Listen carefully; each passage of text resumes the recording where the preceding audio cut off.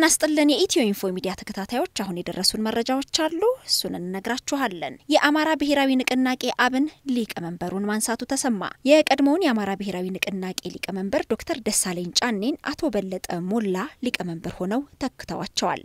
የካቲት 14ና 15 2012 አንደኛ አስቸኳይ ጠቅላላ ስብሰባውን የምርጫ ቦርድ ታዛቢ በተገኘበት በደብረ ብርሃን አካሂዷል። ጉባኤውን በንግግር የከፈቱት የንቅናቄው ሊቀመንበር ዶክተር ደሳለኝ ጫኔ አብን የአማራውን ሕዝብ ጥያቄ መመለስ በሚያስችለውና ወቅቱ በሚፈልገው ልክ ይገኝ ዘንድ ላለፉት ጊዜያት የመጣበትን መንገድ መርምሮ በጥናት ላይ የተመሰረተ መዋቅራዊ ማሻሻያ መዘጋጀቱን ገልጸዋል። በዚህ ላይ ጠቅላላ ጉባኤውም በደንብ ተወያይቶ አቋም እንዲይዝበት መጠየቃቸው ተነግሯል። ጉባኤው በመጀመሪያ ቀን ውሎ የአብን መዋቅራዊ ማሻሻያ ሪፎርም አስፈላጊነትና ዓላማ፣ የንቅናቄው ጥቅል የስራ ክንውን ሪፖርት፣ የፋይናንስ ኦዲትና ኢንስፔክሽን ሪፖርት፣ የብሔራዊ ምክር ቤቱ ሪፖርት፣ የተሻሻለው የንቅናቄ መተዳደሪያ ደንብ ቀርቦ በጠቅላላ ጉባኤው አባላት ሰፊ ውይይት ከተደረገበት በኋላ መጽደቁም ተሰምቷል። ጠቅላላ ጉባኤው አምስት ተለዋጭ አባላት ያሉት አርባ አምስት የንቅናቄውን ማዕከላዊ ኮሚቴ አባላትን በሚስጥር ድምፅ አሰጣጥን መርጦ ያጸደቀ ሲሆን የተመረጡት አባላትም የድርጅቱን ሊቀመንበርና ምክትል ሊቀመንበር መርጠዋል።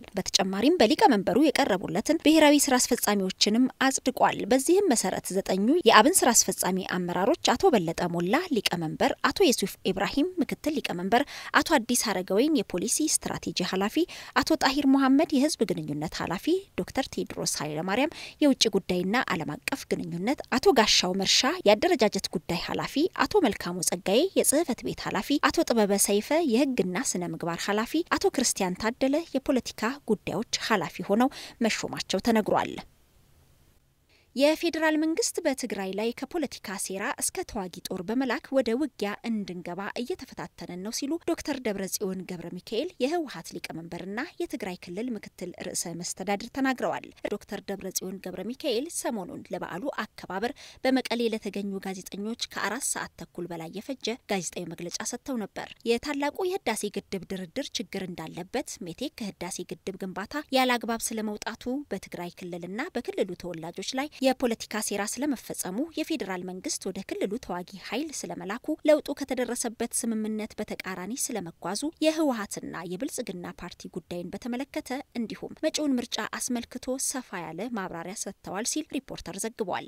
የፌዴራል መንግስት በትግራይ ላይ ከፖለቲካ ሴራ እስከ ተዋጊ ጦር በመላክ ወደ ውጊያ እንድንገባ እየተፈታተነን ነው ያሉት ዶክተር ደብረጽዮን በእኩልነት ላይ የተመሰረተ አንድነት ካልኖረን ግን የትግራይ ህዝብ ታግሎ ያረጋገጠው መብቱ እጁ ላይ እንደሆነ ሊታወቅ ይገባል ብለዋል። ዶክተር ደብረጽዮን የህዳሴ ግድብን በተመለከተ በግል የሚሰማቸውን ጨምሮ በርካታ ጉዳዮችን አንስተዋል። ግድቡ ከጅማሬው አንስቶ በ2010 ዓ ም ወደ ክልሉ በአመራርነት እስከሄዱበት ድረስ ያለውን በማውሳት አሁን ያለበት ሁኔታ በጣም እንዳሳዘናቸው ጠቁመዋል። በግሌ እጅግ አዝኛለሁ ያሉት ዶክተር ደብረጽዮን መንግስት አሁን እያደረገ ባለው ነገር የግድቡን ስራ ወደ ኋላ ጎትቶታል ይላሉ። ግድቡን በራስ አቅም በመገንባት የኃይል ፍላጎትን ለማሟላት እግረ መንገዱን የኃይል ምህንድስና ኢንዱስትሪዎች ለማቋቋም ይረዳ ነበር ብለው ይህ እቅድ በአመራር ስህተት ተጨናክፏል ሲሉም አክለዋል። በተለይ ሜቴክ የአስተዳደር ጉድለቶች እንደነበሩበት በግል የማምን ቢሆንም ችግሩን አስተካክሎ መሄድ ሲቻል ሙሉ በሙሉ ከስራ ውጭ እንዲሆን መደረጉ ትክክል አልነበረም። ግድቡን በአንድ ዓመት ውስጥ አጠናቀን የመጀመሪያው ምዕራፍ ኃይል ማመንጨት ይጀምር ነበር ያሉት ዶክተር ደብረጽዮን ከምንም በላይ የሚያሳዝነው ከአምስት ዓመት በላይ በዚያ በረሃ የነበሩ ወጣት ልጆች እንዲበተኑ መደረጉ እንደ አገር ትልቅ ኪሳራ ነው ሲሉም አስረድተዋል።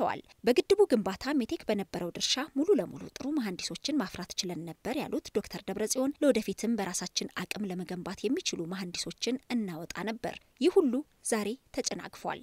በአጭር ጊዜ ብሩህ አእምሮ ያላቸው መሐንዲሶችን እያፈራንና በውጭ ሀገር ባለሙያዎች ሳይቀር ለመወዳደር ይበቁ ነበር። ዛሬ እነዚህን ወጣቶች ሜዳ ላይ ቢበተኑ የሀገሪቱን ህልም ማጨንገፍ ነው ብለዋል። አሁን እየተደረገ ያለው ድርድርም አሳዛኝ ነው ሲሉ በአሜሪካና በዓለም ባንክ አደራዳሪነት እየተካሄደ ስላለው ድርድር አንስተዋል። ፈጽሞ ወደ ዋሽንግተን ዲሲ መሄድ አልነበረበትም። ይህ ደግሞ የአመራር ችግርን ፍንትው አድርጎ ያሳየ ነው ብለዋል። እኔ ወደ ክልል እስከሄድኩበት ዕለት ድረስ ግድቡ 63 በመቶ ደርሶ ነበር። በአንድ ዓመት ውስጥም ያልቅ ነበር። ያኔ መቀሌ ከመጣው በኋላ ኢንጂነር ስመኘው መጥቶ ተወያይተን ነበር። እንድታግዘን ብሎኝ ነበር። እኔም ፍላጎቱ ነበረኝ። ነገር ግን ግድቡ እዚህ ደረጃ ከደረሰ በኋላ ያን ያህል ድርድር አያስፈልግም ነበር። የመደራደር አቅማችንም ትልቅ ነበር። የሰሞኑ ድርድር ግን የመደራደር አቅማችንን ወደ ኋላ የጎተተ ነው። ለምሳሌ ሱዳንን በስንት ትግል በእጃችን አስገብተን አቅማችን ፈርጥሞ ነበር። ዛሬ ግን ጭራሽ ሱዳንንም አተናታል ሲሉ ተናግረዋል። ለምሳሌ በቅርቡ አይኤምኤፍ ብድር ሲሰጥ በድርድሩ ላይ ተጽዕኖ በመፍጠር አገርን ተጋላጭ አድርጓል ያሉት ሊቀመንበሩ ይህ ደግሞ የፖሊሲ አቅማችንንም ሊያሳጣን ይችላል ብለዋል። በዓሉ በተከበረበት ዕለት በርካታ የክልሉ ነዋሪዎችና እንግዶች በታደሙበት የትግራይ ዓለም አቀፍ ስታዲየም ውስጥ ባሰሙት ንግግር በትግራይ ሕዝብ ላይ የሚደረግ ማንኛውም ጥቃት መቆም አለበት፣ የአንድ ብሔር የበላይነት ሊኖር አይገባም ብለዋል። የብሔር የበላይነት ያሉትን ክልል በግልጽ ባይናገሩም በትግራይ ተወላጆች ላይ የሚፈጸም ጥቃት ሊቆም ወይም ሊያበቃ ይገባል ማለታቸውም ተሰምቷል። በትግራይ ተወላጆች ላይ ይፈጸማል ያሉትን ጥቃት የህዝብ ተወካዮች ምክር ቤት የስራ ዘመኑ ከመጠናቀቁ በፊት በቀሩ ጊዜያት ሊያወግዝ ይገባል ሲሉም አሳስበዋል። በዚሁ አጋጣሚ ለማሳሰብ የምወደው የህዝብ ተወካዮች ምክር ቤት አባላት የተሰጣችሁ የኮንትራት ጊዜ እየተገባደደ ነው።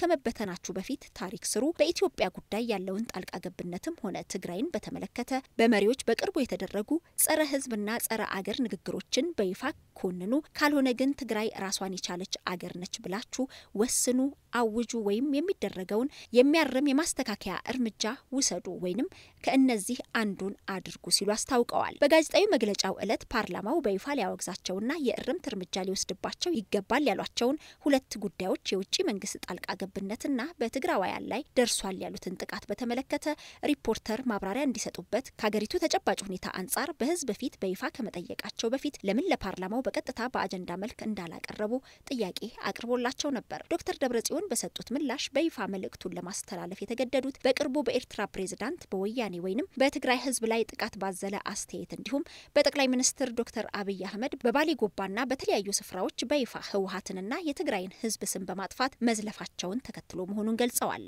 የኤርትራ ፕሬዝዳንት በቅርቡ ወያኔ ትጠፋለች፣ ያበቃላታል በማለት ህዝቡ የመረጠውን ድርጅት መስደቡ በቀጥታ የትግራይ ህዝብ ላይ ያነጣጠረ ጥቃት መሆኑን ማሳያ ነው ብለዋል። የኤርትራ መሪ መግለጫ የሚያሳየው ነገር ቢኖር በኢትዮጵያ ጉዳይ ጣልቃ መግባቱን ነው። ከፌዴራል መንግስት ጠቅላይ ሚኒስትሩም ሆኑ የውጭ ጉዳይ ሚኒስትሩ ጉዳዩን ሊጠይቁ ይገባቸው ነበር ብለዋል። መንግስት ይህንን ዝም ማለቱ ደግሞ የራሳችን መንግስት ከኤርትራ ጋር ተባባሪ በመሆን በትግራይ ላይ ደባ እየሰሩ እንደሆነ አድርገን እንመለከተዋለን። ሌላ ምሳሌ ብንመለከት ያሉት ዶክተር ደብረጽዮን ጠቅላይ ሚኒስትሩ ራሳቸው በባሌ ያደረጉትን ንግግር መስማት በቂ ነው ብለዋል። ዶክተር አብይ በኦሮምኛ ቋንቋ ለባሌ ህዝብ አድርገውታል የተባለውን ንግግር ሲሰሙ ለማመን ከብዷቸው እንደነበር የገለጹት ዶክተር ደብረጽዮን ለምን ሰበር ናቸው አባረር ናቸው በማለት እንደ ጠላት ሊቆጥረን እንደቻለ አልገባኝም ብለዋል። እኛ ነገሮችን በትዕግስት ማየት ስለመረጥን እንደ ትግራይ ህዝብ ተሰባሪ እንዳልሆንን ያውቁታል ሲሉም አክለዋል። ጠቅላይ ሚኒስትሩ በባሌ ያደረጉት ንግግር አንድ ማሳያ ሆኖ በተለያዩ ጊዜያት ወደ ስልጣን ከመጡበት ጀምሮ ተመሳሳይ ጥቃትና ጥላቻ አዘል ንግግሮች በማድረግ የትግራይን ህዝብ ለማሸማቀቅ ተሞክሯል ሲሉም ተናግረዋል። በትግራይ ላይ እየተፈጸመ ነው ያሉት ጥቃት ደግሞ መልኩን እየቀያየረ ከአማራ ክልልም ተመሳሳይ ጥቃት ተሞክሮ ነበር ብለዋል።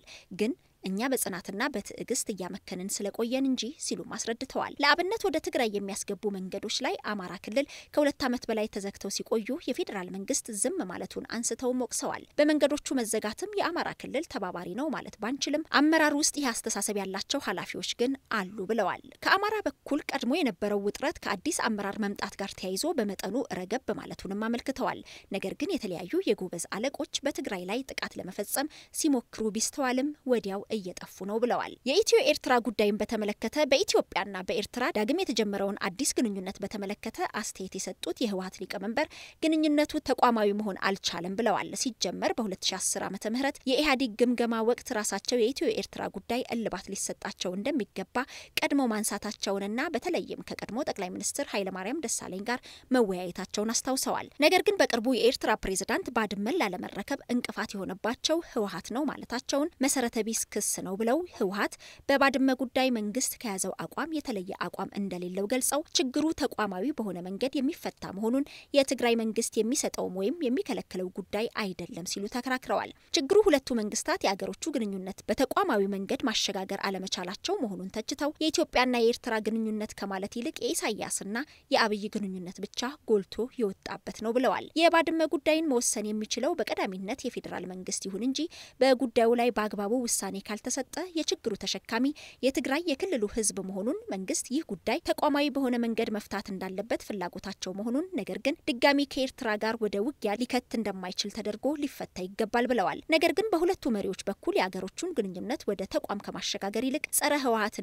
ጸረ ትግራይ ሴራቸውን እያሳዩን ነው በማለት ወቅሰዋል። የመቀሌው ኤርፖርት አጋች ታጋች ድራማን በተመለከተ በትግራይ ክልል የጸጥታ ኃይሎች ታግተዋል ስለተባለው የፌዴራል ፖሊስ ጉዳይ ላይ ለመጀመሪያ ጊዜ ዘርዘር ያለ ማብራሪያ ሰጥተዋል። ቁጥራቸው 45 የሚደርሱ ከተለያዩ የጸጥታ ተቋማት ተውጣተው የተላኩ ልዩ የፌዴራል ፖሊስ ኃይል አባላት ማንነታቸው ያልተገለጸ የወንጀል ተጠርጣሪዎችን ከመቀሌ ለመያዝ ተልከው እንደነበር በወቅቱ ተሰምቶ ነበር። ነገር ግን ዝርዝር ማብራሪያ በክልሉም ሆነ በፌዴራል ፖሊስ ሳይሰጥበት ተዳፍኖ ቆይቶ እንደነበር ይታወሳል። ዶክተር ደብረጽዮን በመግለጫቸው ተላኩ የተባሉ የፌዴራል ልዩ ኃይል አባላት ኤርፖርት ከመድረሳቸው በፊት የክልሉ ደህንነት መረጃ እንደነበረው መቀሌ ሲደርሱ ከተሳፈሩበት አውሮፕላን ሳይወርዱ መከበባቸውን ገልጸዋል።